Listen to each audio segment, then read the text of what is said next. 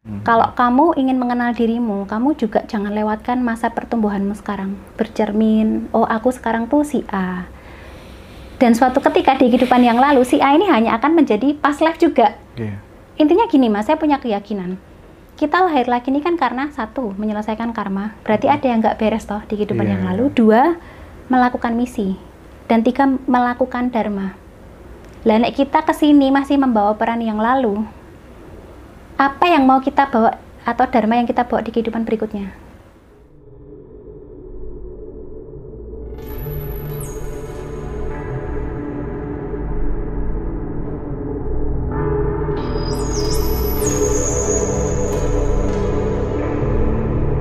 Ibaratnya manusianya ini kayak gini. Ada orang yang jiwanya butuh ditolong tapi dianya menolak karena pikirannya masih nggak bisa dikasih input. Hmm. Apa mau kita terus jejali? Ya kita kan iya, capek mas. Iya, makanya saya sudah berpikir kayak kalau kita mau interaksi sama orang ya lihat dulu. Genah iki iso iso masuk enggak gitu loh mas? Uh, kita kan juga harus menilai ya dengan siapa kita berbicara. Contohnya kayak kita berbicara orang yang baby soul.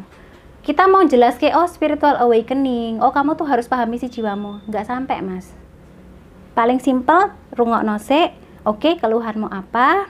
Kemudian setelah dia ada trust kita arahin pelan-pelan hmm. dari baby soul itu dari pemahaman dia. Yeah. Kalau kita bertemu sama orang yang memang dia sudah major soul, bong kurang diklik dia jadi out soul atau memang dia pas life-nya sebenarnya sudah punya ilmu spiritual ya, hmm. cuma dia butuh diyakinkan.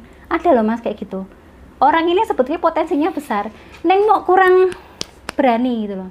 Nah, kita kan tinggal ngarahin yeah. toh. Eh, kamu sadar nggak kamu tuh potensimu besar loh. Cuma kenapa kamu nggak melakukan ini? Hmm. Kenapa kamu nggak coba puasa? Ya, ya. Jadi akhirnya yang membuat berhasil itu ya diri mereka sendiri, mas, bukan saya. Saya harus gimana nih? Coba coba di coba ini. gimana, mas? Iya, saya saya harus gimana? Maksudnya di Terawang aja, mbak. Uh, gimana ya harus spesifik dulu iya, aspeknya ya, terkait, apa? Terkait terkait apa ya mungkin ya? ya apa ya? Terkait apa sih? Aku hampir gak ada masalah sih. Enggak. Bercanda aja deh.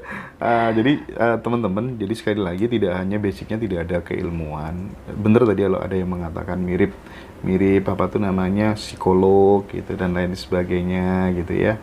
Terus uh, banyak yang merasa bertumbuh ya dengan dengan apa tuh namanya dengan konsultasi dengan Mbak Listi banyak komen-komen yang positif semuanya oh. rindu terobati gitu kan ya jadi saya tuh apa ya kadang Ya Allah, Mbak Listi, ini kan sesuatu yang sangat dibutuhkan teman-teman sebenarnya tentang problem-problem kehidupan gitu. Dan saya bersyukur sekali sekarang bisa ketemu lagi dengan Mbak Listi. Nanti teman-teman kita bikin acara di berbagai macam tempat dengan Mbak Listi yang sesuai dengan masalah-masalah yang dihadapi oleh teman-teman, termasuk yang pengen terhubung langsung dengan Mbak Listi, konsultasi online, semua masalahnya teman-teman, misi jiwa, talenta dan seterusnya, termasuk uh, problem finansial. Itu ada kaitannya dengan uh, apa tuh namanya karma. Nah itu menarik gitu. Nanti Mbak Listi bisa nemenin teman-teman untuk berproses bertumbuh bersama-sama dan jangan lupa nilai plusnya terawangan. Enggak apa Mbak Listi nggak mau disebut terawang iya. begitu ya teman-teman ya. Intinya gift lah mas, apa pun gift, yang memang iya. selaras dengan misi saya ya lebih tepatnya tuh empowering mas. Iya oke. Okay. Kalau terkait ini Mbak apa perempuan punya karir yang hebat ini kan rata-rata perempuan sekarang pengen banget nih uh, memiliki karir yang hebat sampai kemudian kadang melebihi suaminya kadang suaminya kadang tak berdaya gitu kan ya uh, merasa kalah hebat finansial pemasukannya gitu terus menyebabkan divorce dan ini ada kaitannya sama agenda elit global dan seterusnya nggak sih? Okay. Coba coba itu diulas kayaknya menarik tuh mbak. Oke, okay, jadi gini Mas Hendra. Oke. Okay. Hmm, di era now itu kan kita uh, seperti mau nggak mau dijejali mindset bahwa perempuan yang hebat itu yang mandiri secara karir, Siap. otomatis mandiri secara finansial. Mm -hmm. Itu bagus mas, bukan saya tidak setuju. Tapi pada akhirnya perempuan-perempuan yang sudah terjebak di itu dan nggak bisa kontrol atau dia nggak punya self mastery atau pengendalian dirinya atau kesadarannya kurang, itu jadi ambisi. Nah, padahal perempuan itu adalah pendidik, gitu loh mas untuk anaknya. Iya, untuk anaknya. Paling lingkup terkecil adalah untuk anaknya dulu. Hmm. Karena nggak mungkin uh, pola yang benar itu kan ibu ini lebih ke feminnya yang lebih besar. Oke. Sehingga dia yang merawat, membesarkan, termasuk melahirkan, mendidik, memberikan arahan, gitu kan. Nah, sedangkan laki-laki ini kan memang eh, harusnya dominan maskulin ya, sehingga rasa tanggung jawabnya lebih besar, Iya. konsistensi, komitmen.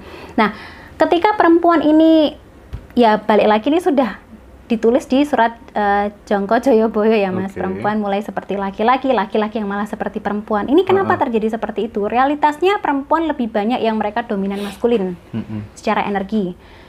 Laki-laki secara energi lebih dominan feminin. Oke. Makanya banyak perempuan-perempuan yang malah jadi tulang punggung, Hmm. laki-laki yang malah lebih banyak eh, tidak berkontribusi secara finansial Oke. gitu. Nah, akhirnya ketika perempuan ini ambisinya tidak terbendung, mereka lebih fokus ke karir gitu ya. Anak-anak ini kan tidak terutama yang perempuan ya, anak-anak ini tidak akan melihat role model dari ibunya Mm-mm. tentang ibu itu seperti apa, sosok feminin itu seperti apa. Sehingga anak-anak ini bertumbuh menjadi seorang remaja dewasa yang mereka itu mencari jati diri dari kehidupan perjalanan mereka sendiri Oke. atau dari pengetahuan mereka sendiri, dari circle mereka sendiri.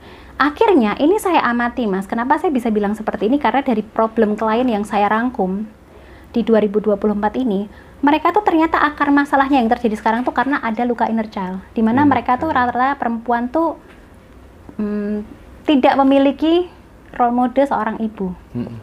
Nah, akhirnya ini membentuk perempuan-perempuan ini menjadi alpha woman.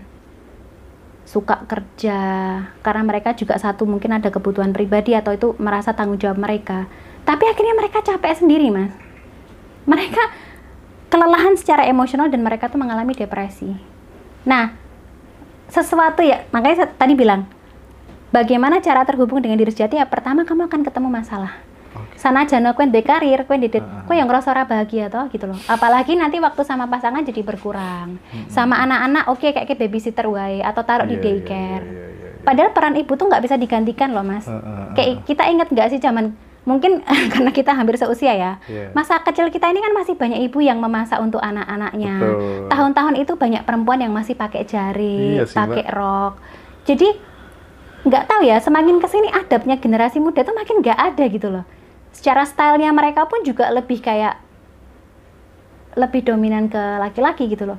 Dan laki-laki sekarang karena dalam rumah tangga tuh seperti ada dua nakoda kadang mereka tuh mengalami ketidakberdayaan. La- lama-lama mereka tuh unproduktif atau nggak produktif karena mentalnya udah kena gitu loh Bener, kena mental ya. Iya, iya laki-laki juga bisa kena mental loh mas. gitu. Ah, ah, Apalagi ah, kalau perempuan alpha woman sudah merasa mereka punya penghasilan sendiri atau gimana kan mereka kadang adalah ras terkuat gitu loh di bumi ini karena nggak bisa didebat. Hmm. Nah laki-laki kan malah tambah kalah omongan ya. Apalagi laki-laki sekarang kan lebih dominan problemnya karena mereka dominan feminin energi ya. Jadi Hmm. mereka nggak bisa mengekspresikan diri. Ditanya maunya apa mereka juga nggak ngerti gitu loh.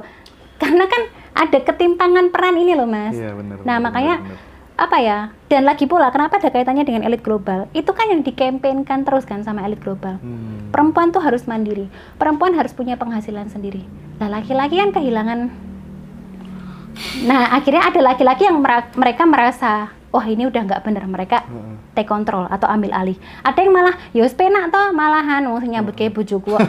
nah itulah yang di serat Jongko Joyoboyo tuh tertulis wong lanang ki ngasorake derajate dhewe. Hmm.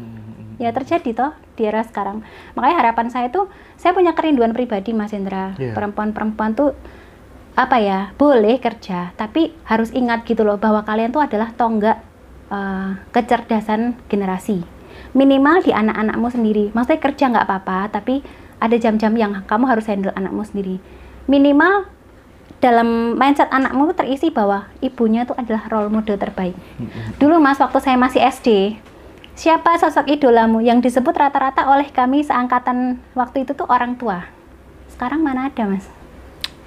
Rata-rata mereka tuh sudah aktor luar negeri, Iya, iya, iya. seorang penulis. Bener banget. Orang tua tuh perannya tergeser Mas, apalagi ibu gitu loh. Makanya saya juga menyadari karena peran ibu ini besar ya boleh kerja tapi tolonglah diatur waktunya Iya, iya. balik lagi rezeki kemudian eh, apa ya derajat pangkatmu di pekerjaan tuh bukan lantas kamu kerja mati-matian akhirnya kamu mendapatkan itu. Semua orang tuh ada masa jayanya, Mas. Iya, iya. Pernah mengalami kita mau bah musik sampai 24 jam juga nggak ada hasil. Iya, kalau memang waktunya kamu diangkat hanya dengan sapuan kecil kamu akan maju. Tapi kalau bukan waktumu, ya sulit.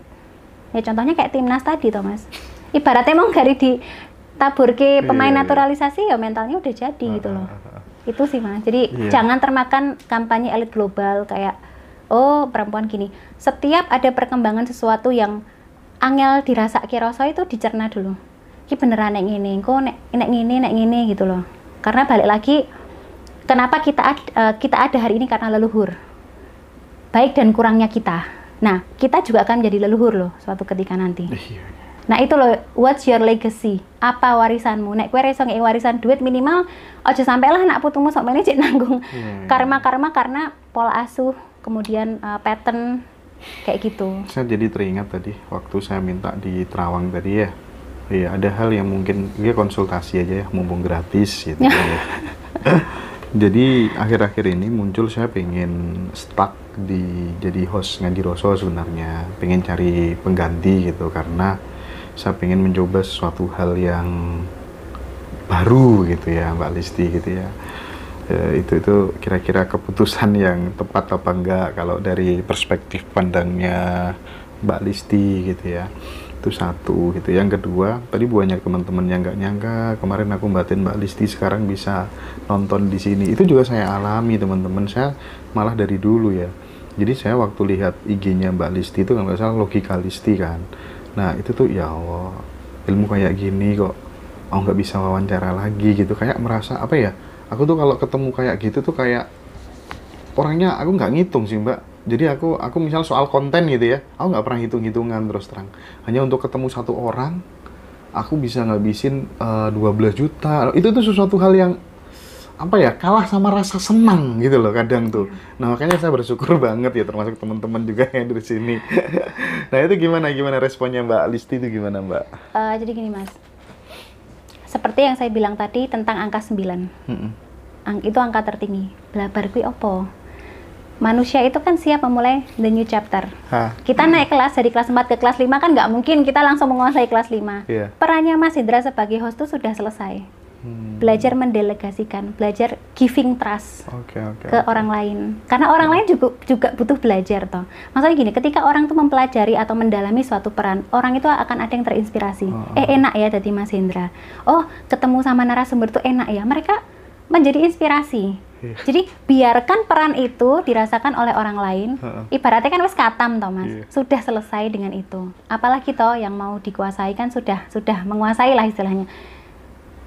Eh, seseorang menjadi guru ya harus siap dimuridkan lagi peranmu di kelas 4 ini ibaratnya udah selesai gitu loh mas Oke paham paham. Mas Hendra paham. sudah saatnya naik ke kelas 5 dengan peran yang baru makanya saya bilang tadi 2024 adalah Soul Union Heeh. mulai masuk ke misi jiwa mungkin Mas Hendra sebagai penggerak ngaji Roso dan apa namanya host ini hanya apa ya kamuflase ya mempelajari akhirnya dari ketemu berbagai Iya. narasumber kan mengkerucut Mas Hendra sudah jauh lebih tahu apa yang diinginkan nah sekarang tuh 2024 tuh waktunya take action Lebih pengen banyak waktu buat keluarga juga sih sebenarnya. iya itu Melihat anak-anak tumbuh berkembang Ya. gitu kan ya. ya ya. Doakan ya Mbak Listi ya. ya Yang terbaik pasti ya. Mas kasebadan Terakhir Mbak Listi. eh jadi kan tadi kita sempat ya ngomong soal karma di kehidupan masa lalu dan seterusnya gitu.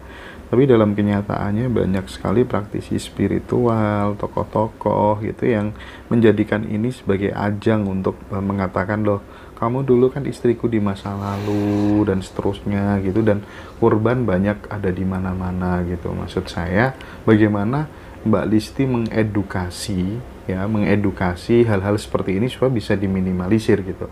Karena rata-rata orang itu kalau disuruh belajar dari dalam dirinya sendiri menggali sendiri itu susah. Maunya itu oh itu kayaknya ada ada tokoh kayaknya menarik deh aku mau ke situ deh. Nanti ada lagi ke sana aku ke sana deh tanya-tanya lagi syaratnya apa dan seterusnya. Gimana mbak?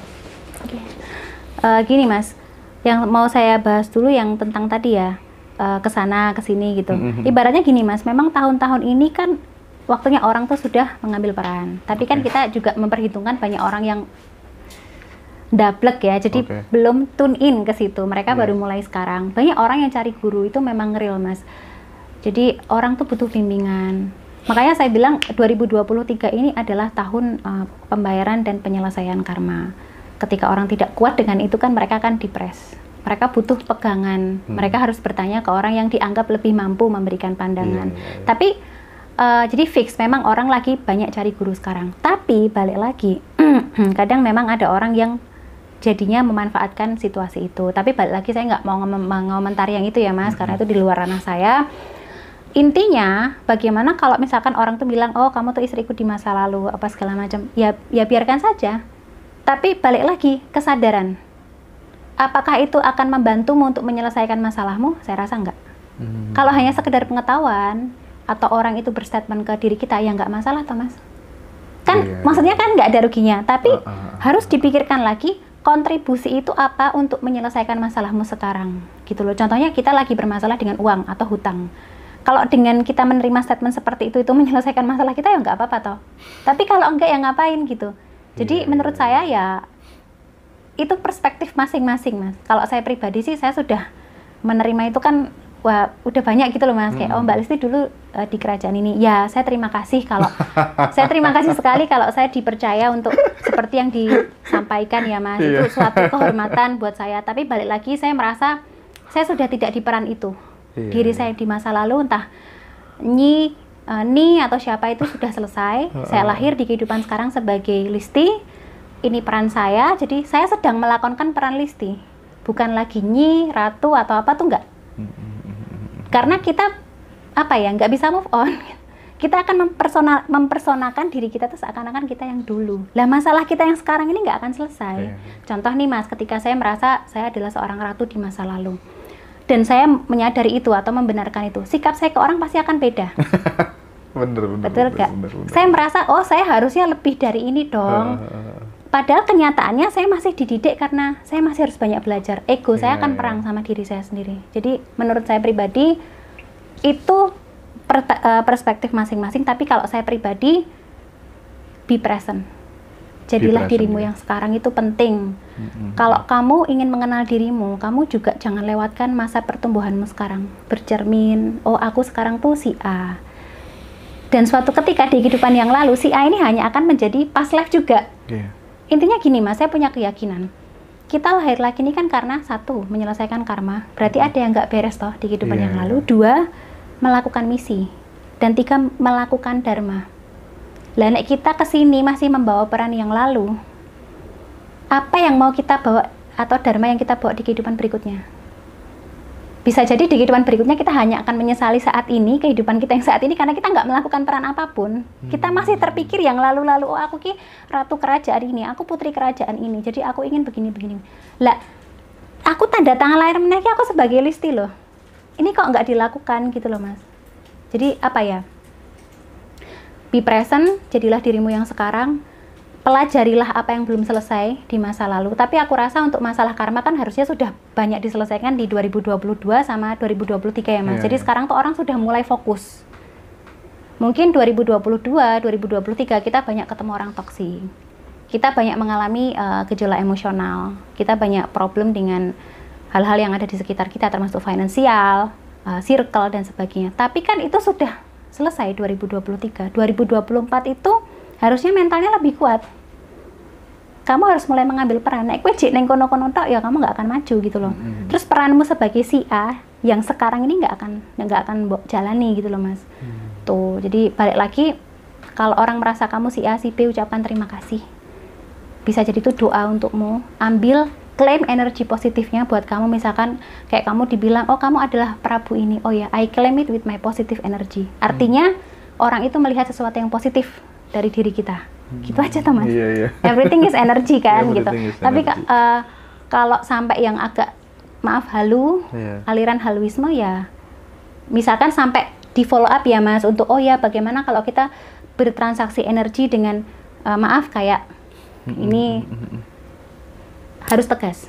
Harus tegas. Pakai rasa mas. Orang Jawa itu kan kuat nih rasa ya. Iya, iya, kamu tuh iya.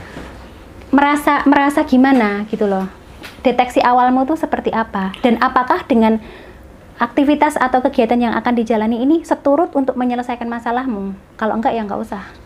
Makanya orang tuh perlu logika juga tuh kayak gitu loh mas. Iya sih. Kadang kalau udah kadung seneng gitu ya kadung menggilai gitu nalar udah udah nggak nggak nggak kepake gitu. Nah kalau itu bisa jadi memang karmanya harus Oh, kena iya, di orang iya, itu. iya. jadi apa pun yang terjadi di bumi ini kan nggak ada yang kebetulan mas. Kadang ada kita kayak serasa jadi feelingku ya aku rasa mangkat. Tapi kok aku jadi pengen mangkat dan apes gitu. Iya, ya bisa jadi kita harus mengalami hal yang nggak enak itu karena kita jadi tahu. Ada manusia-manusia yang dilahirkan itu untuk trial dan error. Oh. Karena mereka tuh jadi apa ya inovator. Akhirnya mereka banyak mencetuskan pemahaman-pemahaman filosofi untuk di brainstorming ke orang ini loh nek rasanya kue tadi gagal iya, iya, gitu iya, iya, iya. jadi perannya orang tuh macam-macam mas Nah, untuk ini, untuk ini Mbak Listi tadi kan mengatakan ada orang yang terlahir untuk trial dan error gitu Ya. kan ya. Sementara ada konsep yang mengatakan manusia menulis jalan hidupnya sendiri gitu. Ini kan eh, paradoks begitu. Nah, jalan tengahnya bagaimana pandangan-pandangan Mbak Listi tentang soal konsep takdir dan seterusnya? Karena pada prinsipnya memang orang kalau tidak mau merubah sekarang ya, ya ya begitu-begitu aja gitu. ya Gimana gimana Mbak? kalau jalan tengahnya ya kesadaran itu mas contohnya saya nggak akan komentar di orang lain ke diri saya sendiri ya mas kayak gini karena saya orang life path satu dan dibesarkan dengan kondisi yang seperti itu ya yang, yang tadi saya ceritakan itu kan hampir tidak mungkin saya bisa ngomong di sini seperti ini Hmm. karena saya sudah merasa diri saya gagal saya bukan orang yang ibaratnya wes tidak bisa diberdayakan lah istilahnya Oke. gitu Mm-mm. Tapi karena hidup itu ada yang namanya blueprint Mm-mm. yang namanya catatan kehidupan atau cetak biru manusia itu Iya. ada orang yang akhirnya nanti kamu di usia segini kamu tuh sudah mulai dipapan kendo pamormu ki wis mulai uh, urip. Kue kudu mulai ngerti kue ngenepi lakumu. Kue kudu mulai ngerti apa sing kudu mbok tindak nih itu di usia-usia tertentu. Akhirnya ada trigger lah itu. Akhirnya orang menjadi sadar karena jembatannya ya kesadaran. Kalau saya nuruti pikiran saya oh saya nggak mau mas. Saya merasa saya tidak layak untuk di titik ini. Tapi jiwa saya higher self saya diri terdalam saya kayak ngomong terus kamu nggak akan lakuin peran? Kamu akan terus takut dalam pemikiranmu bahwa kamu nggak layak apa segala macam. Hmm. nah akhirnya yang mendorong manusia itu untuk menjadi versi terbaik diri mereka ya jiwa mereka. Jiwa itu mengenali perannya mas sebetulnya. Neng pikiran kita tuh kadang membatasi. Oke oke oke oke. gitu. Jadi ya pada akhirnya jembatannya adalah kesadaran dan manusia itu harus mulai aware dengan batinnya. Itu yang mendorong mereka. Kadang kalau kita nggak mau pun kita juga akan diarahkan ke situ mas. Contoh kayak saya sebetulnya kan merasa perlu menarik diri ya mas karena saya harus belajar banyak gitu. Iya. tapi ketika lihat mas eh, Hendra live tadi dan mas Hendra bilang sudah waktunya kita harus Kolaborasi. kolaborasi kita harus Iya. terkoneksi. Dan itu nyambung dengan statement saya tentang soul union. Mm-mm. jiwa ini nggak bisa ditolak lagi mas kayak Iya sih. ditantang Bener, di- diri bener, saya bener, tuh bener, weh bener. kuwi arep piye nduk? Ya akhirnya kan mau nggak mau kan ini ya mas. Nah kayak gitu loh. Iya, iya, kalau iya, mau iya, saya mbok saya jadi dadek ning ngene wae to Gusti. Aku kita dadi wong sing umum wae gitu loh. Maksud saya ya apa Iya, iya, terus iya, menjadi iya. diri saya sak nyamanku gitu loh. Ora maju apa-apa wes gitu. Tapi kan nggak bisa mas. Iya, makanya iya, iya. gini orang itu rasa tirik-tirik oh aku kudu ngene kudu ngene saya punya keyakinan bahwa manusia itu di usia tertentu karena ada siklus hidupnya mas yang Oke. saya pernah bilang dulu 8 tahun sekali Ah, ah, ah. ada waktu-waktu di mana manusia itu akan eh, dibangkitkan kesadarannya jadi spiritual awakening itu nggak cuma satu kali mas Hmm. jadi Oh, setiap gitu ya, 8 Mbak, ya? tahun sekali, iya. Setiap Biasanya 8 umur tahun 16, 24, 32. Makanya manusia itu rata-rata di setiap eh, kelipatan 8 hidupnya itu mengalami terobosan besar atau transformasi. Mm-mm. Nah, manusia itu sebetulnya sudah dibangkitkan kesadarannya itu di titik-titik itu. Mm-mm. Cuman kan kok ya cek ndablek, kok ya cek belum cukup gitu loh. Padahal guru datang ketika murid siap. Iya, iya. Nah, ndelalah kemarin ada big transformation di 2020. Nah, itu pas saya usianya 32 juga, digembleng tenanan, jebret. Akhirnya dari semua pengalaman itu kan jadi guru. Barulah tunduk Thomas oh nggih pun sendiko dawuh, saya ngikut aja kayak gitu. Jadi eh, apa ya?